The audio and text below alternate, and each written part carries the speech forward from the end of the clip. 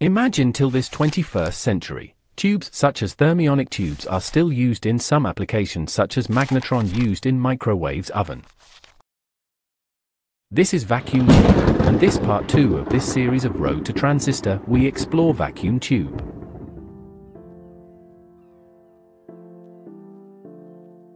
Once upon a time, in the late 19th century, amidst a world of burgeoning scientific exploration, there emerged a spark of innovation that would shape the course of technology for generations to come.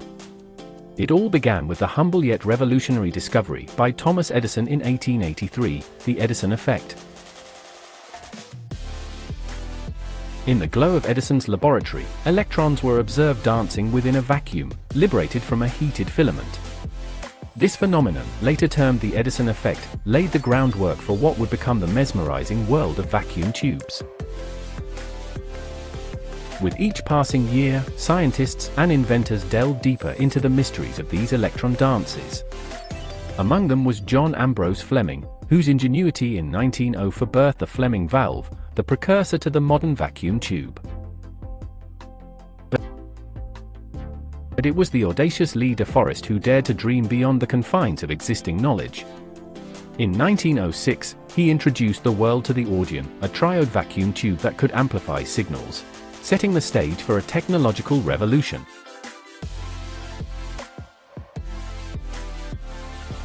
Across continents, the echoes of vacuum tubes reverberated through the airwaves, ushering in an era of unprecedented communication and connectivity.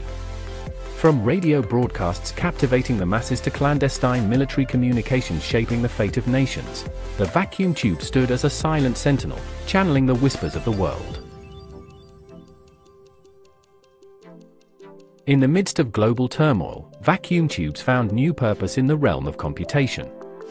With the birth of ENIAC, the world's first electronic computer, vacuum tubes paved the way for unprecedented feats of calculation and analysis. Yet, with progress comes change, and the march of technology spares no relic of the past. As the years unfurled, the transistor emerged, a diminutive marvel that would herald the twilight of the vacuum tube era. With the rise of transistors and integrated circuits, the once dominant vacuum tube yielded its throne, retreating into the annals of history. Yet, its legacy endured, a testament to the indomitable spirit of human ingenuity and the relentless pursuit of progress. Today, the whispers of vacuum tubes still echo in the hearts of enthusiasts and aficionados, their warm glow and harmonious hum a nostalgic reminder of a bygone era.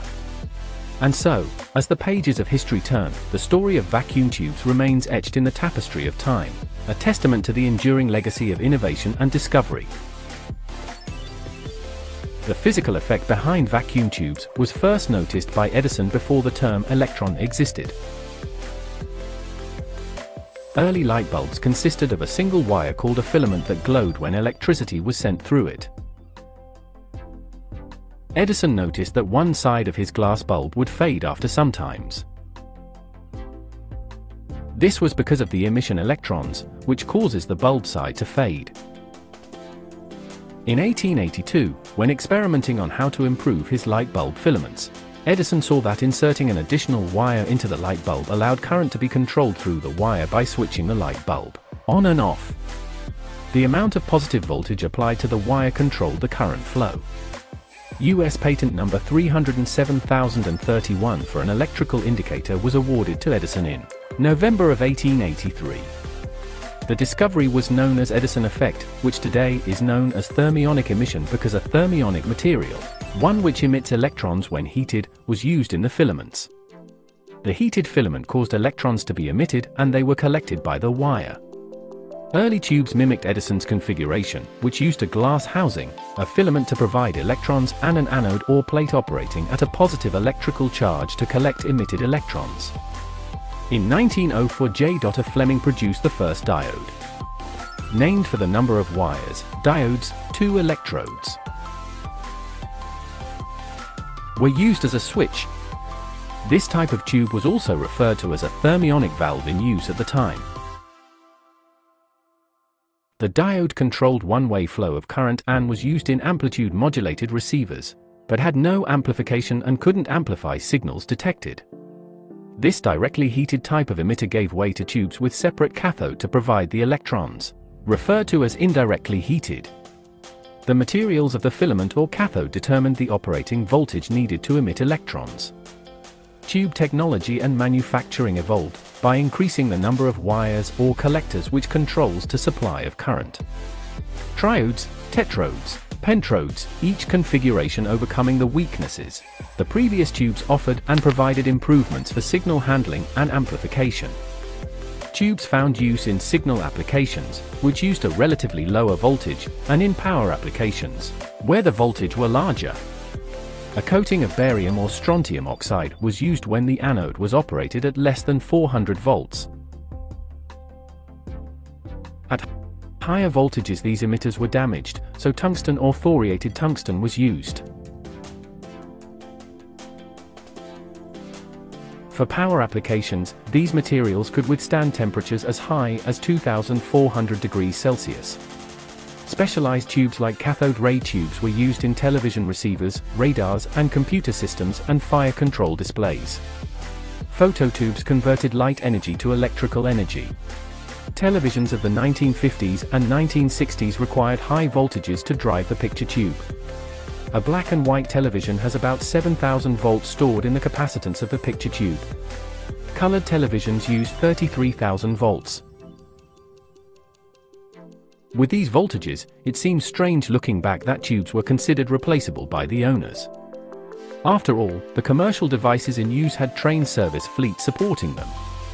Yet, during these years, replacements were available at almost every type of outlet, gas stations, grocery stores, and appliances stores.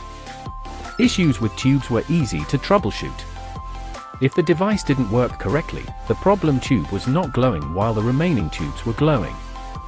You then removed the tube, walked it down to the neighborhood gas station, checked it at their tester, pick up a replacement to put back in the device. During the 1940s, when the ENIAC was under construction, the basic principles of vacuum tubes and their circuits were familiar to most electrical engineers. Tube structure contained cathode, plate and grid. Cathode is the electrode from which the electrons originated. To cause it to give electrons, its temperature is raised with a heater. In some tubes, the heater is the cathode, but for the tubes used in the logic of the ENIAC, the heater is inside a small metal can. This can is coated with a mixture of barium and strontium that efficiently emit electrons at lower temperatures than the heater itself. Plate, physically designed as a metal can surrounding the cathode with some free space between them. When the plate is at a sufficiently high voltage with respect to the cathode, then the electrons emitted from the cathode travel across the gap between them and hit the plate. When this happens, a current flows through the tube. Note that the electrons can only flow from the cathode to the plate and not the other way around. A tube containing containing just a cathode and a plate is called a diode. Grid tubes can also have one or more grids electrodes between the cathode and plate. If there is a single grid, then the tube is called a triode. If it has two grids, then it is called a tetrode, and if it has three grids, it is called a pentode. Physically, the grid is usually formed as a wire spiral around the cathode and in the space between the it and the plate. The spiral is loose enough that there is space between the wires for the electrons to pass. If the grid is supplied with a positive potential battery, the electric field will be formed from the grid towards the plate. This enables the electrons emitted by filament to cross towards the plate, making this triode forward biased. If the grid is supplied with a negative potential of the battery, the electric field will be formed from grid towards the plate. This prevent the electrons emitted by the filament to cross towards the plate. This is called reverse bias triode. With these, we can control the flow of current in the circuit. Tube characteristics in circuits. When the grid of the tube is sufficiently negative that essentially no current flows, we call the conviction cutoff.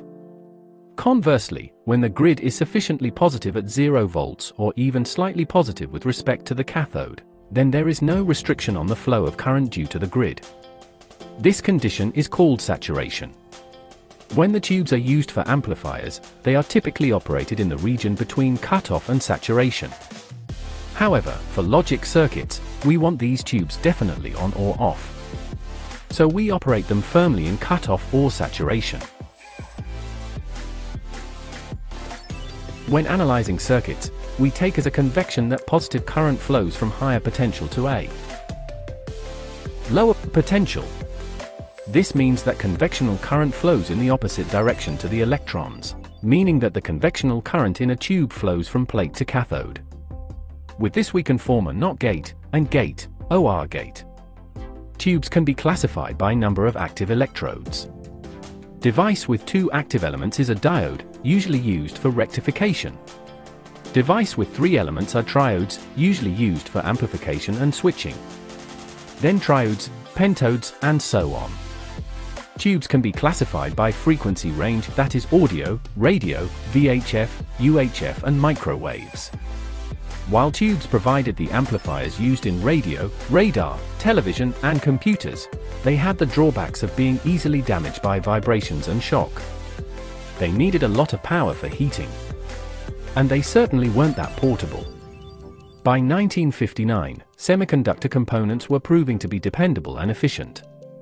They become widely available, tube-based systems were replaced by solid-state equipment,